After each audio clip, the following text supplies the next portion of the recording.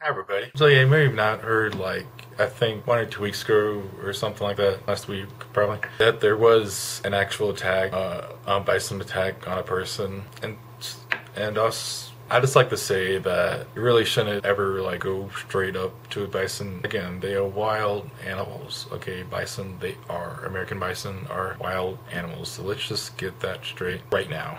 Okay. In fact, from what I kind of know about their behavior, they're definitely um, the American version of the rhino, essentially. I mean, they don't have like plated armor like the rhino, but my gosh, they're they, they are basically they're basically kind of like rhinos. In fact, they will charge at you if you do piss them off. So so yeah, just just don't fuck with a bison, okay? Just don't fuck with one. I would never, nor should any of you that are watching this, don't do it. Don't do it. And the recent article definitely proves that one indeed. In fact, I, I still don't get it to this day, but there's this one time back in 97, yeah, 97, when I went to Yellowstone Park, and there was these bison crossing the road, and there were people like trying to like take pictures of the bison, which is cool. But again, wild animals, so you do want to do it from a distance. Even though they did seem pretty calm, so that was the cool part. But I have no idea why. If just they just didn't get like proper instructions on like what to do and what not to do with bison.